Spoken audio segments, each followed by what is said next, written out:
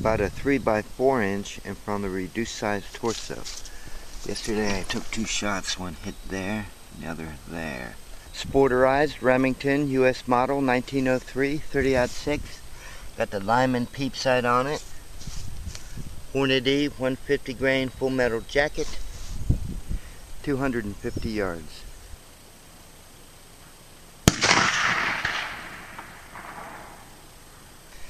Good hit. There.